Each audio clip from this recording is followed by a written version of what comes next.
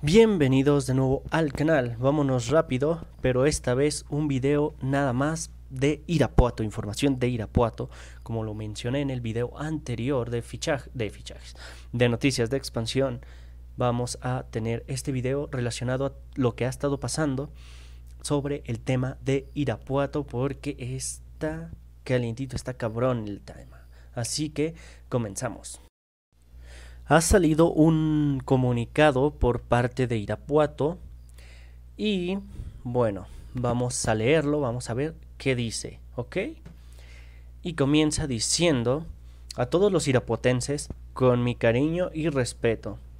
La presente nota es para informarles que desconozco las razones por las que la Federación Mexicana de Fútbol, la Liga MX y la de Expansión detuvieron el ascenso del equipo Irapuato, ya que se dio gracias al gran esfuerzo de jugadores, directiva, autoridades estatales y municipales, y sobre todo de esa gran afición que apoyó sin medida a nuestra querida Trinca. Ahora, en algunos medios se informa que detrás de mí está el señor gobernador Diego Sinwe Rodríguez Vallejo, utilizando el dinero de ese estado en beneficio de la Trinca, señalan que esa es la razón por la cual no dejaron ascender al equipo. Faltan con ello a la verdad y faltan también gravemente al respeto al, respeto al señor gobernador y a un servidor. Hay muchos dueños de equipos que creen que el fútbol profesional se opera a billetazos porque no coinciden, no conocen el camino del estudio, del trabajo y del esfuerzo. Les informo que el honesto convenio que tengo con el municipio de Irapuato, titular de los derechos del estadio Sergio León Chávez, me obliga a pagar mensualmente cerca de 100 mil pesos de renta, más gastos de luz y agua. También les informo que gracias al profesionalismo de los jugadores que hicieron campeona a la trinca, al costo del por sueldo es menor a 200 mil pesos quincenales. Todos ayudaron y se comprometieron para lograr el campeonato de Liga Premier. Hago la aclaración, la gran mayoría de los gastos del equipo los aporté en lo personal, derivado de la pandemia por COVID-19, que mantenía los estadios cerrados y no había ingresos. También aclaro que la Plaza de Irapuato, con ese estadio y esa gran afición bien administrada, es un proyecto 100% autosustentable. los grandes equipos se forman así, logrando una unidad de equipo en donde todos son estrellas o ninguno. Esfuerzo, talento, trabajo y constancia, este es el camino del éxito. La remodelación del Sergio León Chávez, a cargo de los gobiernos estatal y municipal, es correcto en virtud de que están utilizando los recursos públicos en un estadio que es público, obviamente. Dicho estadio fue construido por don Sergio León Chávez y lo donó para beneficio de los irapuatenses y es administrado por la asociación civil creada por don Sergio y por el propio gobierno municipal con el objetivo de que cumpla su fin, practicar el fútbol profesional y otros espectáculos en la ciudad de Irapuato. Hace más o menos cinco años tuve un problema con Alejandro Irarragorri por graves desviaciones de dinero. Por su parte, ese es el problema. Informo que haré todo el esfuerzo legal y administrativo para que se respete el campeonato de la trinca fresera. Considero que la federación mexicana de fútbol puede corregir su error en este momento. Bajo dice mi agradecimiento a todos los irapatenses, a la afición, a las queridas porras, los hijos de la mermelada y freseros y orgullosos. Al señor gobernador y a su equipo de trabajo, al señor presidente municipal José Ricardo Ortiz Gutiérrez y al equipo de su trabajo y a su equipo de trabajo, a todos los reporteros e informadores de diversos canales de televisión, radio y redes sociales. Juntos lograremos evitar esta gran injusticia. Ya basta. Fernando Javier San Román Cervantes. En atención principal al señor licenciado Andrés Manuel López Obrador, presidente constitucional de los Estados Unidos mexicanos. Vale. Ya vimos la inconformidad del padre respecto al tema de Irapuato, pero que, que, hay algo más. Después de lo que leímos del padre eh, de la familia San Román, pues vamos a ver lo que dijo Javier, Javier San Román en su Twitter. Y bueno, eh, lo que dijo fue, me equivoqué de imagen. Ahora sí.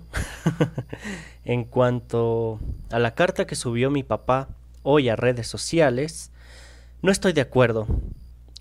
Comí eh, con él el martes y habíamos quedado en dialogar con la Federación Mexicana de Fútbol y sin no irnos en paz del fútbol. Siempre estaré a favor del diálogo y no de la confrontación.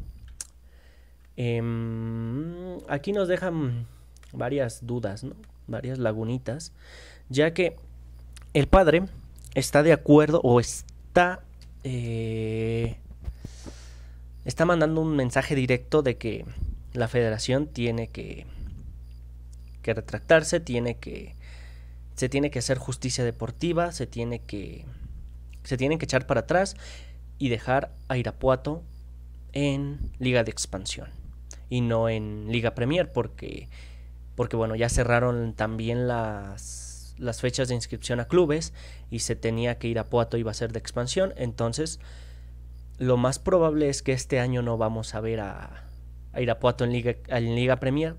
Y si no se resuelve nada este día en la noche con la junta de Javier San Román y la federación, pues tampoco en expansión, lo que quedaría es congelar la franquicia un año y lo que se ve es que, que le van a hacer lo mismo que a Tlaxcala, que es guardarles el lugar un año en lo que los San Román dejan el fútbol mexicano y otro dueño, otras personas llegan, se hacen cargo de Irapuato, entonces si lo suben expansión. Lo cual sería una mierda, ¿no? Porque excluir, vetar a ciertas personas porque no te caen bien, porque porque has tenido problemas o lo que sea en un en una asociación tan grande, pues es una tontería. Cada quien puede tratar de hacer su equipo pero sabemos que en México no es posible. Eso es una utopía en México. Pero bueno. Entonces, mencionando lo de Javier San Román, pues hoy tendrá esa decisión, esa reunión. Y algunos lo mencionan como la última, la última vela, la última esperanza que tiene Irapuato para ascender a Liga Expansión. Es muy difícil, la verdad, ya que la federación haga algo, o más bien que la federación se retracte, pero hay que esperar hasta el último momento y a ver qué pasa. Ahora, ahora sí, lo que dijo también Ricardo Magallán fue que que mencionó también un tema respecto a Irapuato y fue el siguiente y es lo que ya hemos estado viendo, ¿vale? Y lo que dijo Ricardo Magallán fue, gente del Irapuato me, me confirma que hasta anoche les habían confirmado que debutaban el 27 de julio en Liga Expansión contra Venados. Hoy nadie de la federación o de la liga se comunicó con ellos para informarles que no iban. Se enteraron por el comunicado lanzado en redes, o sea, o sea, la liga, la federación no tienen ni siquiera los huevos eh, de avisarle a sus clubes si van a estar, si no van a estar. O sea, les dicen una cosa, les dicen después otra, o bueno, más bien en este caso ni siquiera les dijeron, simplemente les dijeron si vas a estar, pero cuando vieron el comunicado, cuando vieron el calendario, se dieron cuenta de que Irapuato no iba y que no estaba en planes. Lo cual es una porquería que la federación haga eso, que le haga eso a la afición, a también a las televisoras en parte porque pues las televisoras también van a quedar un poco afectadas, ¿no? A los dueños, a los inversionistas, a los responsables de cada equipo, eso es una porquería lo que están haciendo a la liga, la verdad. Y ya se ha hablado de que del comunicado, ¿no? De todo lo que se está, se está hablando en este momento de que el grito va a seguir, el famoso grito va a seguir y en la Copa Oro se va a hacer sentir ese grito. Se supone que planean hacer el grito en la Copa Oro, principalmente. Ahora que México debuta el sábado, hay que estar pendientes de lo que va a pasar el sábado en el partido de México porque va a estar calientito el tema del grito, el, morbo y todo eso. Pero bueno, ya solo queda esperar lo que lo que diga Javier San Román sobre su junta, sobre su reunión. Probablemente cuando sube este video ya ya habrá terminado esa reunión, así que nada. Nos vemos en el próximo video y he andado algo desaparecido. así que nada, nos vemos y traeré algunos otros videos poquito para bajar ese desmadre, ¿no? Este mal sabor de boca que nos ha dejado la federación. Chao.